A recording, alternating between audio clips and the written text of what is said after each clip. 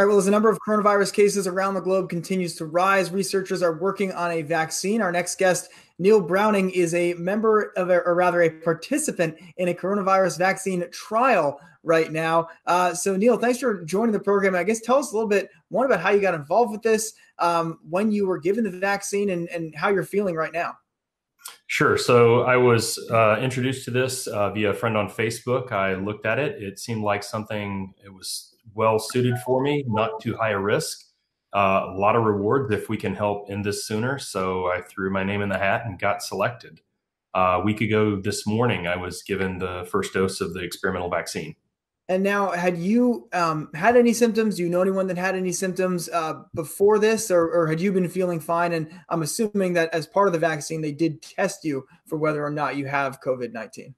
Yes, absolutely. I was fully tested. I need to make sure that I'm not exposed to it. This is a new type of vaccine that actually does not have any type of the virus weakened or dead as a part of it.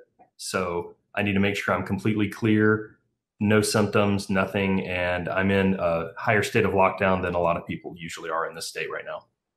And how many other uh, participants are there in this trial? And, and what's your timeline? I guess if you're right now in a in a pretty um, serious self quarantine situation, what's your timeline looking like um, for you to return uh, to something like normal life?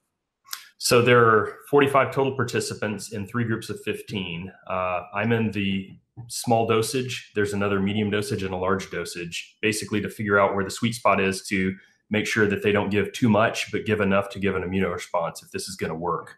Um, I'm in where basically I don't go anywhere except for once a week. I have to drive into the same research facility where I was administered the vaccine and donate blood for them to uh, run through analysis and see how my body's reacting to it. At four weeks out from the initial injection, I'll get a booster and go through another four weeks of every week going in for a blood draw. Hey investors, Zack Guzman here. Are you interested in learning more about the markets and getting the latest financial news? Well, then click right here to subscribe to our Yahoo Finance YouTube channel. Get the latest up to the minute market analysis, big interviews in the world of finance, and information on how to manage your money every day wherever you are.